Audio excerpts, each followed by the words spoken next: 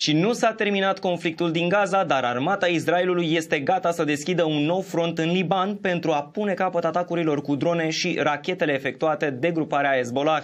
Premierul Benjamin Netanyahu a avertizat că țara sa este pregătită pentru acțiuni intense de-a lungul frontierei. Statele Unite au transmis un apel la calm, iar purtătorul de cuvânt al Departamentului de Stat, Matthew Miller, a precizat miercuri că sunt negocieri intense pentru a evita escaladarea conflictului. Dar mai multe discut chiar acum cu Florin Jipa, editor șef la Monitorul Apărării și Securității. Bine te-am găsit, Florin, bună dimineața! Bună dimineața, Alex! Vedem că premierul Netanyahu amenință cu deschiderea unui al doilea front cu Libanul, după ce 11 persoane au fost rănite într-un atac cu drone lansate de către Hezbollah. Ce se mai aude de acordul de încetare a focului în Gaza și cât de gravă este situația la granița cu Libanul?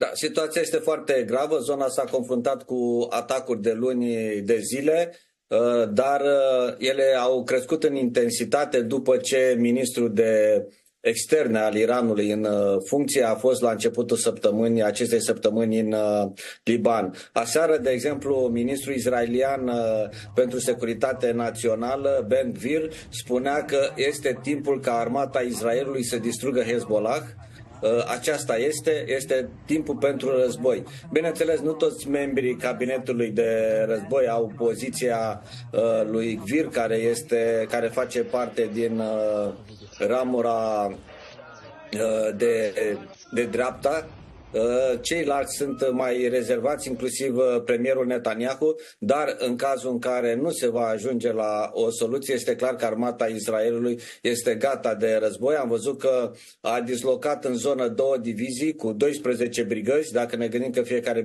brigadă înseamnă 4.000 de militari, înseamnă o forță de 48.000 de, de militari, aproape dublă decât uh, este în acest moment în Gaza. Deci Israelul se pregătește pentru un război pe două fronturi. Referitor la acordul din uh, Gaza, ieri a fost și o declarație a unui lider Hamas, Hania, care a spus că Hamas va lua în serios și pozitiv orice acord care include o încetare completă a ostilităților și o retragere completă a Israelului din Gaza, lucru pe care Netanyahu l-a refuzat până la acest moment. Continuă negocierile în Cairo. Ieri au fost în, uh, în Doha, în uh, Qatar. Statele Unite, Egiptul și Qatarul fac presiuni atât uh, la Israel cât și la organizația teroristă Hamas să accepte acest acord. Netanyahu este și sub presiunea străzii. Seara trecută a fost un marș la Tel Aviv unde mii de persoane au cerut un acord de încetare a focului și eliberarea ostaticilor. Florin, îți mulțumesc pentru informații.